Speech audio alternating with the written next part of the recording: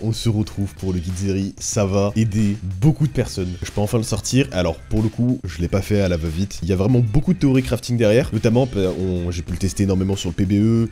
Euh, le perso, j'ai pu vous présenter dès sa sortie en exclu. Et vraiment, j'ai des belles choses à vous présenter, notamment en termes de build. Mais je me dédouane. Disclaimer. Là maintenant, le guide sort juste après la sortie du personnage, donc bien entendu, il n'est pas parfait. Bah, comme je vous parlais notamment sur les builds, d'ici deux semaines, il y a moyen qu'il y ait plein de changements, des gens qui trouvent des trucs encore meilleurs. Mais dans l'idée, ça va surtout être super intéressant pour vous expliquer comment jouer Zeri, quelles sont ses forces, ses faiblesses, les synergies, les counters, l'identité du personnage. Et voilà, vous expliquer tout ça, les compétences. Pour le but, j'ai un bête de trucs à vous présenter, vous verrez pourquoi, c'est très réfléchi. Et on est parti On commence avec, comme d'hab, les runes. Alors les frères, on va en profiter, à profiter de ce guide là sur le nouveau perso pour clore un débat très rapidement. Conqueror ou Lethal Tempo sur Zeri, vous prenez Lethal Tempo. Pourquoi? Parce que la Lethal Tempo de stack augmente, oui, votre range auto-attaque, mais ça augmente également la range de votre Q. C'est pour ça que vous allez préférer Lethal Tempo. Donc, Lethal Tempo, Presence of Mind, Bloodline, Cut Down s'il y des tanks, sinon vous prenez coup de grâce.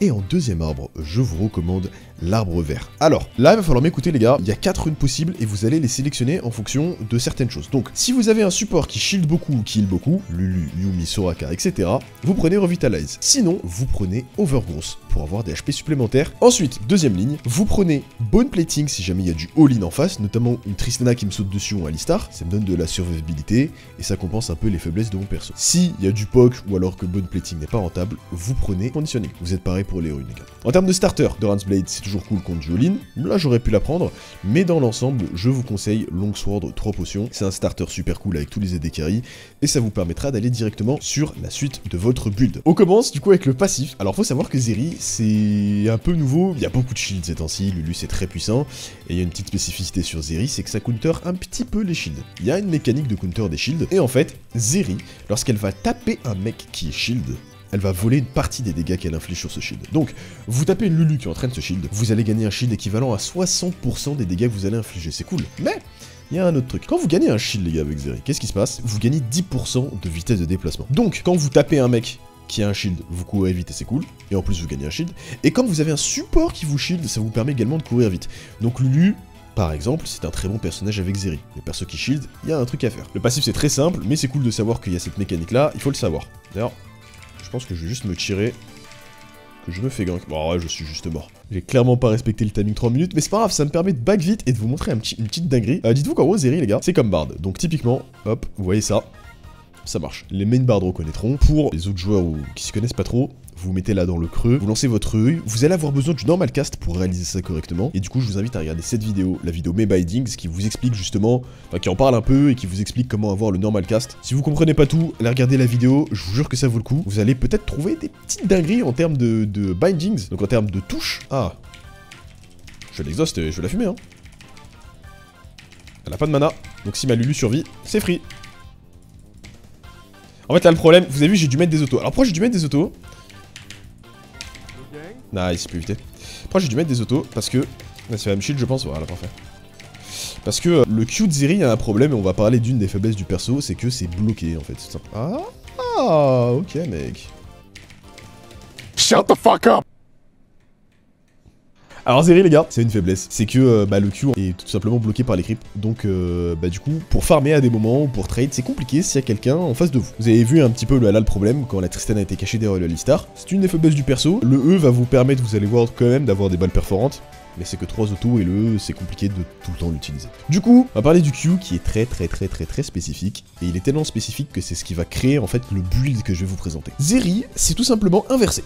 Dites-vous que, normalement, quand vous mettez des auto-attaques avec un, ADC classique, bah vous faites un clic droit. Zeri, c'est l'inverse. Ça, c'est considéré comme sa compétence. Et lorsque vous lancez votre Q, donc vraiment, faut appuyer sur Q et le lancer, ça, c'est considéré comme une auto-attaque pour League of Legends. Donc c'est tout simplement inversé, il faut le comprendre comme ça, les gars. Et, euh, et du coup, il va falloir tout le temps Q. Et seulement... Parce que là, là, on fait un guide sur Zeri ADC, ok les gars Je veux pas vous parler de Zeri AP, même si c'est jouable on va parler de Zeri ADC. Et seulement lancer votre auto-attaque quand... Ah oui, retournes, mon pote. Quand vous avez euh, la barre en dessous qui est chargée. Regardez, hop Vous avez vu, ça fait très mal. Très très mal. Et en plus, ça slow. Donc c'est vraiment puissant de l'utiliser quand c'est stack. Sinon, ne l'utilisez pas. Comment on stack ça? C'est simple. Il faut juste bouger. Voilà, il faut se mouvoir, les gars. Il faut, il faut se déplacer. Et également, euh, taper. Vous avez vu, hop, je tape, ça me permet de vite stack cette barre. D'ailleurs, petit trick, j'en parle maintenant, vous pouvez euh, lancer très très vite cette auto avec un Q en faisant ça, regardez. Vous pouvez faire auto-Q, ou Q auto. Donc je vais le faire sur un creep qui est encore en vie. Vous avez vu, ça se lance très vite. Donc voilà, il y a moyen de casser les deux en même temps. Notez-le si à un moment vous voulez lancer cette auto-attaque améliorée.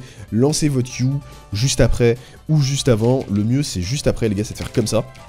Vraiment, votre auto et ensuite le Q, ça vous permet d'optimiser du temps. Bon, le Q, on va pas en parler longtemps, euh, parce que c'est vraiment très simple. En gros, faut vous dire que Zeri, c'est un peu comme un shoot 'em up. Ceux qui jouent à des jeux vidéo depuis longtemps, grosse dédicace aux darons qui regardent peut-être cette vidéo. Les vieux jeux à l'époque, là, les shoot 'em up, vous savez, euh, les trucs avec un vaisseau où on tirait sur les vaisseaux ennemis là. En fait, Zeri, ça a vraiment une vibe de shoot 'em up. Vous allez vraiment ressentir un peu les mêmes sensations que ce genre de vieux jeu, et, euh, et c'est vraiment stylé. Vous ne pourrez pas utiliser le Q-click pour taper en général. Vous serez obligé de viser avec votre souris en utilisant le Q, parce que bah, du coup, c'est pas une sorte de vraie auto-attaque. Mais, il y a un petit trick avec le Q, enfin c'est pas un trick, mais c'est un truc à savoir, c'est que le Q, en fait, regardez, ça lance 7 balles. Donc les 7 balles font des dégâts, c'est-à-dire que si vous touchez que quelques balles pendant que le mec se déplace, ça va pas infliger les dégâts max. Mais la première balle, donc en gros quand vous lancez votre Q sur un mec, il faut savoir que le sort est considéré comme une auto, mais également comme un sort. Et du coup on entre dans cette spécificité un peu bizarre du sort, comme le Q d'Ezreal. Vous savez le Q d'Ezreal c'est considéré comme une auto et comme une compétence. Donc qu'est-ce qui se passe? Ça vous permet de proc les effets on hit, donc notamment les trucs un peu comme la, comme la Chine, la Trinité, le Fléau de Lich, l'Essence River, ce genre de trucs, ça se proc instant avec le Q. Voilà, faut le savoir. Vous allez comprendre après sur la partie build pourquoi je vous ai donné cette info et pourquoi ça marche et pourquoi c'est fort. Le reste du kit de sort, vous allez voir, c'est très très simple. Le Z, c'est un zap de Jinx. Voilà, c'est littéralement un zap de Jinx qui va slow et qui va infliger des magic damage. Prenez-le comme ça. Par contre, s'il y a un mur, ça se transformer en mini ulti de Senna. Et ça c'est cool parce que si jamais vous lancez votre E, vous avez vu le E, ça vous permet de traverser les murs. Dans tous les cas, du moment que vous utilisez votre E, le Z, hop, se transforme en midi ulti de Senna et va faire des, va faire des dégâts... euh, beaucoup plus facilement parce que c'est plus simple à toucher entre guillemets, mais voilà. C'est surtout des dégâts de zone, et euh, vous pouvez gagner du temps en lançant votre Z pendant votre E quand vous êtes en train de chase un ennemi ou de vous enfuir. Pour le Z, voilà, il n'y a pas non plus euh, de gros gros trucs à savoir. Pour juste le, voilà, comprendre comment ça marche, vous pouvez l'utiliser pour faire un peu de dégâts, pour slow les mecs, etc. C'est l'utilitaire, c'est un peu comme Jinx. Par contre, le E, et là on entre dans les bails un peu intéressants de Zeri, c'est que le E, bah ça peut s'utiliser comme ça les gars. Pour hop, donc là je peux préparer mon Z, hop, ça slow, Ensuite, je cours dessus. Après, j'aurais pu la re-slow avec mon auto si elle avait pas le, le- le zap là du swag. Into, euh, je continue à la taper. Il y a des trucs stylés à faire avec Zeri. Le E, les gars, c'est un peu comme le E de Kaisa parce que quand vous allez taper un adversaire, vous allez réduire le CD de cette compétence. Donc le E là, imaginez, hop, je l'utilise. Et que ça, c'est un ennemi. Ça ne marche que contre les champions ennemis. Hop, Là, en gros, à chaque Q, je réduirais le CD de mon E. Le E, c'est intéressant de l'utiliser parce que, après utilisation, les gars, plus le fait que vous pouvez vous repositionner, vous gagnez 3 balles perforantes. Au début, euh, c'est 80% des dégâts que ça va infliger sur les cibles derrière, mais quand le sort est max, ça fera bien entendu 100%. Ça sert à quoi? Ça sert à taper en teamfight, et ça sert surtout à wave clear. Le problème du E, c'est que vous pouvez pas vraiment l'utiliser juste pour wave clear, parce que si vous faites ça, bah, vous avez plus d'armes défensives. Bref, c'est un peu la merde. Donc Zeri manque de wave clear, est très faible en early game, et c'est une très très très très grosse faiblesse du personnage. C'est pour ça que je la trouve pas si forte que ça, moi, au final. Par contre, le perso scale, elle devient très forte plus tard. C'est une des raisons pourquoi euh, Zeri a du mal à wave clear, c'est qu'elle ne peut pas utiliser son E pour wave clear comme elle l'entend. En plus, c'est un très gros CD le E, vous pouvez pas facilement le reset parce qu'il faut taper des mecs, les mecs ils vont pas se laisser taper. Et dernier truc, vous avez vu, le E, vous pouvez l'utiliser contre des murs. Alors, il y a plein de murs, va juste falloir être intelligent les gars, je vous en ai montré un. Euh, ça marche sur les deux côtés de la base, tous les longs murs comme ça, regardez. Je vous, montre plein de petits trucs comme ça, dès que j'en verrai, au cours de la vidéo, ce sera assez interactif. Si je vois des E intéressants à vous montrer, euh, j'avais vraiment Theorycraft les E à fond, je vous les montrerai. Je pense qu'on peut leur casser la gueule à mon avis. Vraiment. Et hop, on bloque juste. On met des Q. Je perds pas de mana moi à faire ça donc. Là, vous voulez vraiment auto space. Mais mais c'est un peu dur au début. Hein. Et voilà, vous avez vu, il est pas en range de me mettre des un combo. Hop, là je le re-slow. Parfait, elle, elle perd son E. Vous avez vu, l'auto, même si vous avez l'auto chargée, et que moi je vous conseille du coup de la mettre, ne la mettez pas tout le temps parce qu'en fait vous allez vous mettre en danger. Genre, vous avez vraiment une range d'auto un peu faible comparée à votre Q, notamment. J'aurais besoin de l'ulti de ma Lulu. Bien, elle a bien joué. Hop. Nice, hop. Et là on le slow et on continue. Ouais, c'est ça, vous avez vu quand il y a des creeps, genre c'est vraiment trop chiant, genre. Quand il y a des creeps, c'est vraiment trop relou.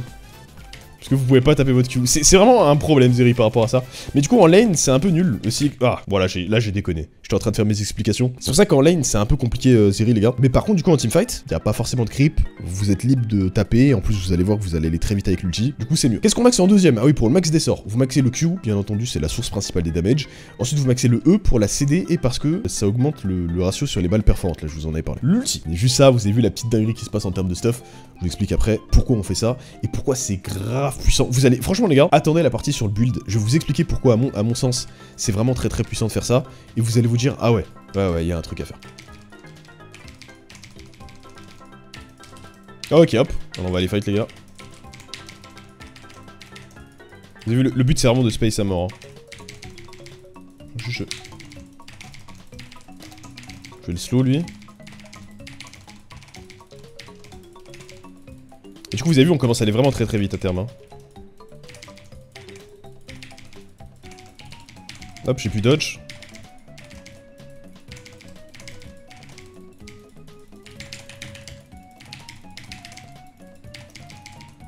Ah Vous avez vu? Moi je vous dis, hein, le, perso, je trouve qu'il est vraiment très très faible en early. Le fight était long, j'ai pu stack des trucs et tout, mais ça manque un peu de dégâts. Bon bref, et l'ulti du coup, bah, que j'ai pu activer euh, plusieurs fois au cours du guide, c'est un ulti qui va exploser autour de vous, ça va faire des magic damage, donc c'est ça fait ça fait franchement des bons dégâts de base. Vous allez gagner des dégâts, en fait, des dégâts onit, et également euh, votre euh, Q, donc avant qu'il lançait 7 balles, va maintenant lancer 3, donc c'est beaucoup plus rapide. Pareil, le Q fait plus mal, etc. Vous gagnez de la vitesse de déplacement, et cette vitesse de déplacement, euh, en plus, hein, peut s'augmenter en tapant les mecs. Donc en gros, quand vous avez votre ulti, avec toutes les stats que vous gagnez, plus les dégâts que vous avez mis, plus vous tapez les mecs, plus vous gagnez de la vitesse de déplacement. Et ça ne s'arrête jamais. Et vous pouvez refresh l'ulti comme ça là, à, l'infini genre. Mais vraiment à l'infini les gars. Et vous gagnez la vitesse de déplacement, vous en gagnez, vous en gagnez, vous en gagnez, et ça ne s'arrête jamais. Jamais, jamais, jamais, jamais, jamais, jamais. Donc en fight, sur les fights très longs, Zeri est très puissante parce qu'elle va très très vite.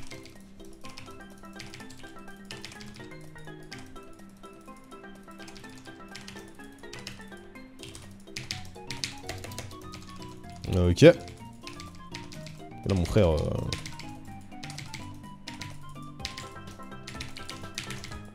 Là, c'était un peu compliqué. Avant de passer à la partie sur les faiblesses, les counters, les forces, etc., je vous parle du build. Alors, pourquoi j'ai fait ce build? Depuis tout à l'heure, vous êtes en mode, mais... Euh...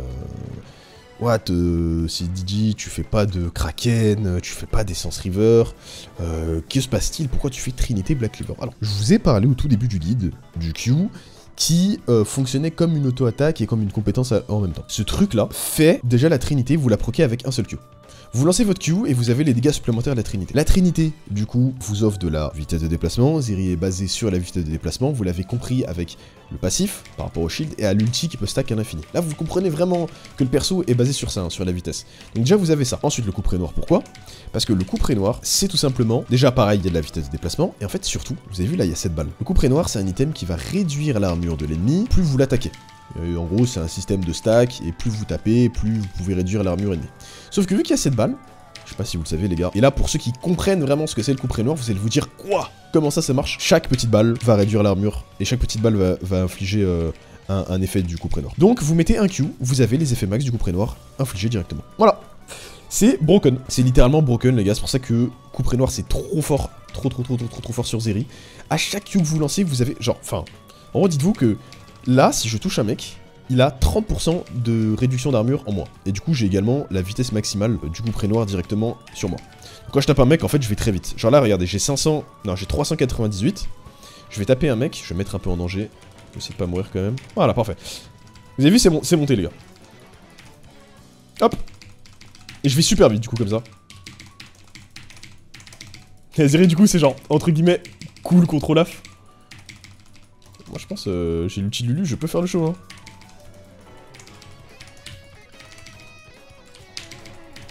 Ah, elle fait le, tank du swag. Je sais de la space, mais... le spacing, c'est important sur Zeri, les gars. Ah, la flash. Est-ce que je peux la snipe? D'ailleurs, je vous expliquer un truc trop important d'en parler sur ce guide. Quand vous lancez votre Z pendant le E, sachez que si vous lancez votre Z vers la fin du jump, il y a une sorte de frame vers la fin où votre Z part n'importe où, genre. il part pas du tout à l'endroit où vous avez mis votre curseur. Voilà, donc c'est un truc sur Zeri, je sais pas si c'est un bug, si juste c'est codé de cette façon et ça va rester toute la vie, mais voilà, sachez-le. Donc faites gaffe quand vous lancez votre Z, quand c'est sur la fin du jump. Dites-moi dans les commentaires si vous le saviez, c'est d'ailleurs, c'est un peu... Mais voilà, troisième item, alors, faut savoir que l'Hydra, l'Hydre, euh, tout court, ça, ça marche sur Zeri, donc c'est un item super intéressant. Mais il y a un truc qui à mon avis peut être encore mieux, et c'est le Runan. Alors, si vraiment vous êtes dans une game où vous voulez taper qu'un seul mec, donc euh, vous allez faire des dégâts mono-cibles, c'est intéressant de prendre le Phantom Dancer. Sinon, le Runan, les gars, bah vu que Zeri, vous gagnez de la MS sur l'ulti à chaque fois que vous tapez un mec, euh, le fait de pouvoir taper plein de personnes, c'est trop fort.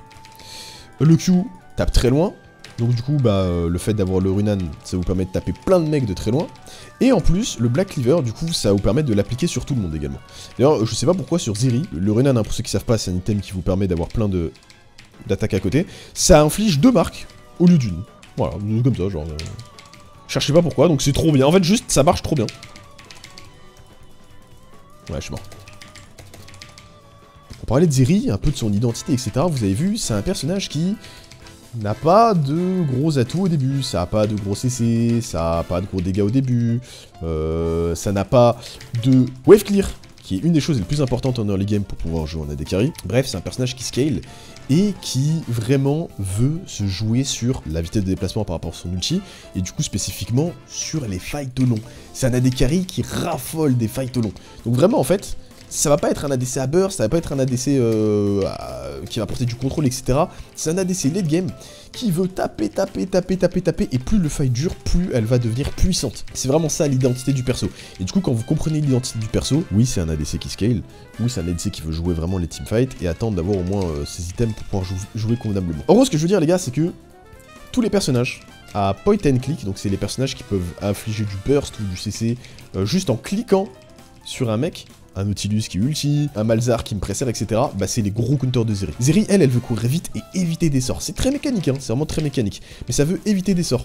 Donc ça va préférer tous les personnages qui... Attends, je vais, t'attendre à la sortie, mon pote. Hein. Ok. Donc ça va préférer tous les sorts où on peut facilement éviter, euh, par exemple, les grappes de Blitzcrank, etc., etc. Donc vous avez capté un petit peu Zeri, ça veut dodge des sorts, ça aime pas trop les persos qui la lock trop facilement, donc ça n'aime pas trop le all-in, typiquement pour euh, bah, aussi, parce qu'elle est pas très très forte sur les premiers levels. Vous comprenez un petit peu ce qui peut marcher avec Zeri. Vu que c'est chaud pour elle en early game, vous voulez pas jouer avec des personnages à engage, vous voulez pas jouer avec des supports à engage. Ça marche pas très bien, parce que ça, ça veut snowball la lane ça veut jouer agressivement. Mais Zeri, elle apporte peu de choses au début. Donc du coup, vous préférez des personnages qui vont euh, aller dans sa continuité de scaling. Donc des Lulu, des personnages euh, donc des Pillars, tous les personnages qui protègent en fait. Ça marchera mieux ça. Ou alors à la limite des mages, pour un peu compenser sa faiblesse en lane. À la limite, mais voilà. Vous avez un peu euh, l'identité du perso. Hop, dès que ça c'est proc. Ah. Dès que vous avez vos autos, pensez à les mettre dès que vous avez le, même en fight, hein, vous lancez plein de Q, gardez au moins un petit œil sur la barre en dessous et lancez vite une auto-attaque pour slow le mec. Et du coup, bah alors en là, ce que vous pouvez faire, vous allez faire une union en dernier, mais du coup, après, vous pouvez faire un petit peu ce que vous voulez. Je pense que la BT est très puissante. Dans certaines games, si vous avez besoin d'RM, sachez que la Witsen marche, parce que du coup, il y a le Honey qui, fonctionne. Mais sinon, voilà, vous pouvez faire une BT, c'est très puissant, et vous avez pas mal d'infos sur le perso. Vu que la game s'était finie un tout petit peu trop vite, j'avais encore quelques tout petits trucs à dire. Après là pour le coup, dites-vous vraiment que la game qui, vient d'arriver, c'est vraiment comme je vous l'ai dit vraiment pas un gameplay en mode destruction de game. Il y a juste beaucoup d'informations et le but c'est que vous appreniez à jouer Zeri. Ce sera vous les MVP de vos games les gars. Et ce que moi je voulais rajouter, pour le coup c'est typiquement parce que je sais qu'il y aura des questions comme ça au cours de la vidéo, c'est ouais si de, du coup attends on fait vraiment ça comme build et tout. Vous pouvez très clairement faire euh, d'autres builds. Alors vous pouvez toujours faire les mythiques classiques à des carries, donc c'est-à-dire le Kraken notamment, c'est pas mal sur Zeri. J'ai vu des Zeri Gelfort, je pense qu'il y a un bon truc puisqu'en fait ça vous donne également de la vitesse de déplacement. Il y a une dinguerie à faire par rapport à ça. Même Shilbo, si vous avez besoin de survivabilité, il y a un bon truc. Bref, les trois sont faisables. J'ai pas encore euh, d'avis très précis sur lequel sera forcément le meilleur, même si euh, je suis pas si fan que ça du Kraken, mais bon, ça après c'est peut-être perso, je pense que les deux sont un petit peu plus forts. Bref, euh, si vous décidez de faire ça, moi je vous conseille du coup de faire Essence River, donc de faire cet item là. Du coup en deuxième, ça remplacera en fait le fait que nous on ait fait Trinité en premier pour proc sur le Q instantanément. Voilà, donc maintenant vous avez le build et après vous pouvez faire IE, euh, même un autre item attack speed, etc. Vous avez un autre build, n'hésitez pas à tester et voir un petit peu ce que vous, préférez. Moi je vous conseille vraiment Trinité Black Cleaver par rapport à ce que je vous ai dit. Euh, d'autres infos, depuis l'alcove, hein, si c'est intéressant pour vous, là je parle pour les botlaners et les AD vous avez des E d'escape à faire. Un peu compliqués à mettre en place au début, mais voilà, ils sont plutôt cool. Pareil, si vous voulez euh, directement aller gank un mec depuis l'alcove, il y a des bons trucs à faire. Ici, il faut juste connaître les spots ou alors euh, avoir le normal cast, ça vous sera très utile. Zeri, c'est également un personnage qui peut être intéressant pour aller euh, gank certaines lanes. Typiquement, pour aller vraiment très vite comme ça. Depuis, depuis le tribouche, vraiment, dites-vous. Depuis le tribouche, si vous avez votre E par exemple, imaginons hein, que je suis de ce côté-là, je vais chez les ennemis, hop, j'utilise mon E pour aller extrêmement vite. Je traverse quasi tout, je suis déjà quasi prêt à gank pour millénaire. Vous pouvez également utiliser les murs du mid pour aller gank très vite euh, votre opposant. Si typiquement il est trop avancé, vous pouvez vous mettre sur un des, euh, un des deux gros murs là sur le côté et hop, allez le taper. Mais Zeri au final c'est un perso qui est très squishy et très faible en early game, donc même si vous êtes en mode waouh mais le perso est trop bien pour gank et tout, vous faites pas avoir, ne vous mettez pas trop en danger non plus, c'est pas un perso qui a du gros setup de gank. Vous pouvez le faire si l'ennemi est miss-post et que vous avez un bon timing, n'hésitez pas, mais sinon vous ne vous mettez pas non plus trop trop trop en danger. Par rapport à eux, vous en avez des très intéressants sur ce genre d'endroit, sur les très gros murs hein, bien entendu, après il y en a des extrêmement simples, mais bien positionnés, vous pouvez vraiment faire des très grosses dingueries, comme ce genre de E, etc.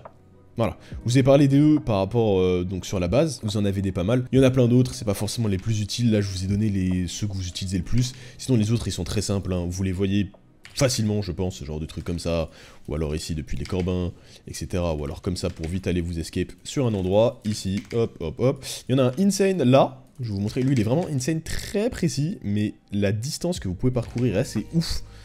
Euh, voilà, très clairement, on est, on est sur un bon E là. Voilà, je vous le montre, regardez.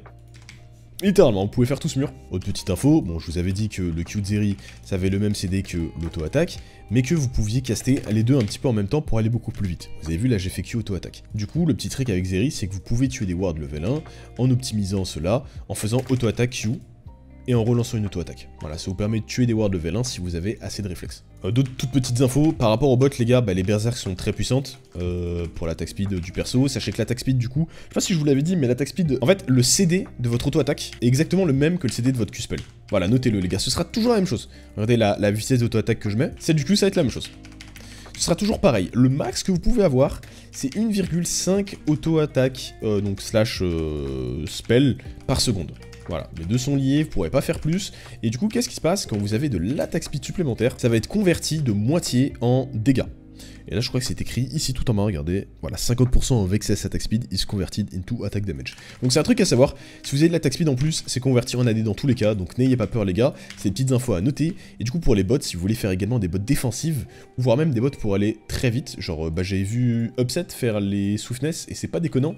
Euh, typiquement, parce que le perso veut aller vite. Donc s'il y a une compo qui vous slow, vous voulez absolument, euh, enfin ça peut être très intéressant de prendre ces bots pour réduire les slows, parce que ça vous nique en fait, le perso est basé sur ça, vous ne voulez pas être slow facilement. Voilà, c'est pas con, il y a plein de possibilités de bots. Et dernier truc, trop trop trop trop trop important, il faut que je vous en parle les gars, c'est tout simplement le fait que, écoutez-moi bien, hein, c'est limite même la partie la plus importante du, du, guide, le perso est très mécanique, très très très mécanique. Vous l'avez peut-être senti, pour ceux qui s'en ont pas rendu compte, bah, je vous le confirme.